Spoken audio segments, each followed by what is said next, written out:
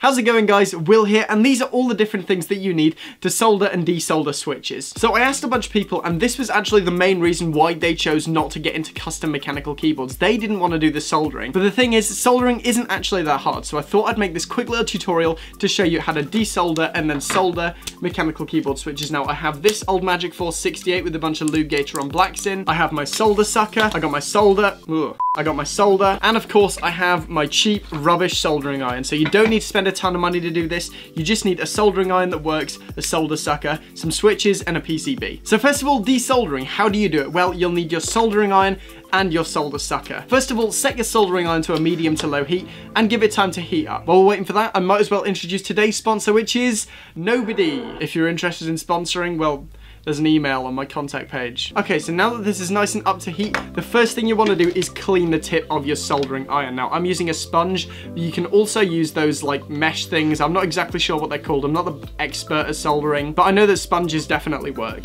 Once it's nice and shiny like that, we can actually begin desoldering. So the first thing you want to do, once it's up to heat, you just want to touch the joint with your soldering iron until it starts to turn to liquid, then just grab it with the solder sucker that's all you need to do. Clean out your solder sucker by doing that. And now you're ready to do an entire keyboard. I would recommend cleaning your soldering iron every two to three switches because the solder actually oxidizes the tip. So you just need to just need to clean it off. Dab it on your sponge or your mesh. If it doesn't come off immediately, I'd say just gently heat it up again. I'd say leave it about 10 seconds before trying a second time. But it's a pretty simple rinse and repeat process after that. After this, just poke your switch through using something blunt.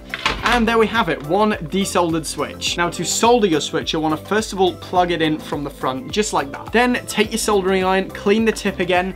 This step is super important. You want to add a little bit of solder to the tip because it will allow the rest of the solder to stick better. After this, you'll want to make a connection between the leg and the joint and simply feed the solder through from the other side. And there we go, perfect. That is exactly the shape you want your solder to look like. When soldering keyboards or anything really, I'm not going to pretend to be an expert on anything, but when soldering keyboards, your joint should look like a volcano. So let's go ahead and do this other one. Again, feeding it from the side. Never touch your solder with your soldering iron directly and just bring it off. After this, again, simply rinse and repeat. Now, one thing you don't want to do is you don't want to leave your soldering iron on too long. I'd say between between 3 and 5 seconds. If you leave your soldering iron on too long, then you do run the risk of burning out your PCB. And of course, I will absolutely admit that I've done it before. I'm making this video so you don't have to. It honestly is as easy as that to change your switches, and once you're done, you will have a brand new custom mechanical keyboard. Okay guys, thank you for watching. Remember to like the video if you want to see more content like this, and smash the subscribe button. I'm trying to hit 10k by the 1st of June, so every single subscription